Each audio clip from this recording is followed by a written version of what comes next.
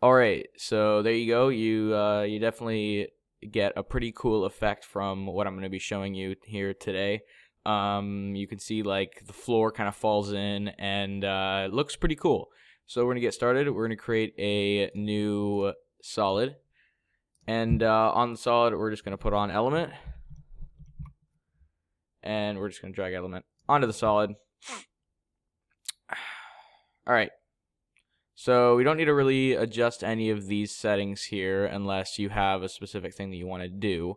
But we're just going to go into the scene setup and we're going to go into the project or sorry, the starter pack and we're going to go to the floor fracture. Basically, the floor fracture is a pre-fractured square that you can use to do some pretty cool stuff. So we're going to create a new material. We're going to go to diffuse type and we're going to load a texture and uh, I already have a I already have a set texture. I'm gonna use the exact same one as I did for the cinematic. So not in there. Here we go. Texture. We're gonna open that up. Okay. And then we're gonna take the material and we're gonna drag it onto our floor fracture. So there we go. Looks pretty good. And uh, then what we're gonna do is just gonna want to press OK. And I forgot to create a camera, so I'm gonna do that too. New camera. Okay.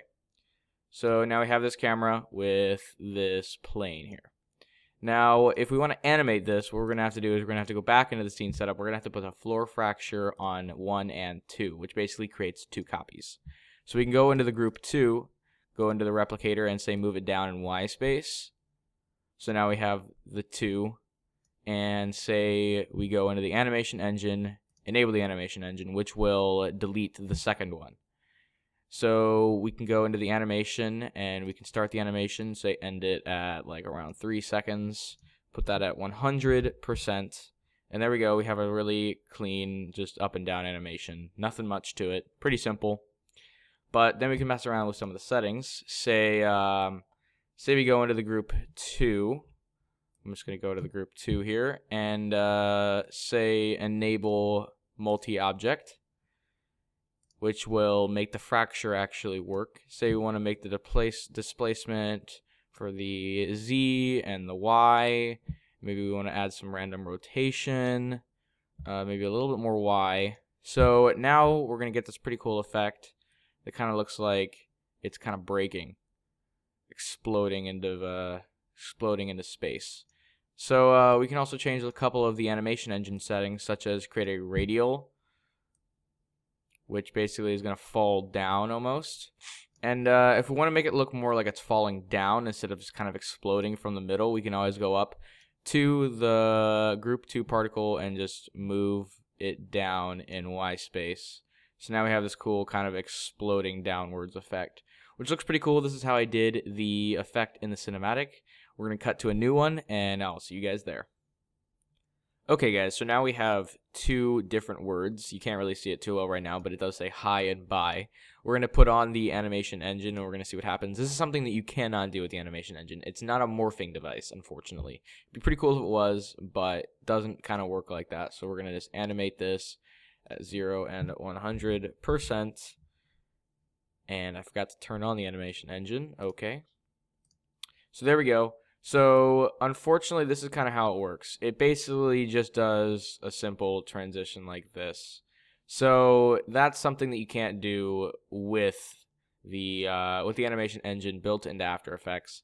Um, it still kind of creates a cool um, bit of a transition. Maybe if you wanted to kind of mess with like the smoothness and maybe maybe radial, does that do anything? Not really, but uh, you know you could kind of mess with it and you might be able to make something kind of cool, but this is something that you can't do. It's not a morphing engine, so it won't like kind of morph bye into hi. But uh, we're gonna jump into another one, and I'll see you guys there.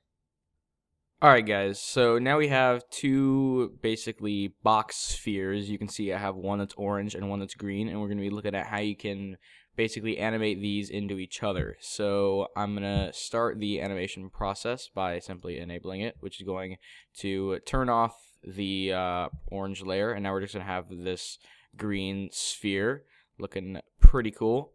And uh, we're gonna turn on the animation process, and maybe four seconds into it, we're going to put it on 100%. So there we go, and now we have this cool kind of morph that changes the color as well as kind of how it looks. So this is something that you can do that's really cool with the animation engine. You can do this with all kinds of shapes and objects and say maybe you wanted it more smoothness, we could definitely smooth it up a little bit so it's a little bit like that. I don't like the smoothest to be honest. I like it down so it has this more edged feel to it. It kind of looks like that. Say uh, we can always go to maybe the directional options and we can turn it more towards the camera, maybe a little bit uh, up and we kind of have an upwards kind of feel to it. Maybe we can add a radial effect and see how that looks. Uh, not really sure how that's radial, but looks kind of crazy. Uh, I don't know. There's just, you know, lots of settings you can go for. Just the uniform basic setting. I like the directional when it comes to this one. But uh, you could always go into maybe the group settings, turn on the multi-object, and then do some random rotation maybe to the blocks. So it kind of morphs into this cool rotational blocks. I don't know. It's really up to you. It's a it's a pretty cool animation engine built into After Effects and Element 3D that I use a lot for my cinematics and edits. But uh, that's about it for today. Hope you guys enjoyed the tutorial. If you did, please leave a like, comment, as well as subscribe. My name is Mira. Peace.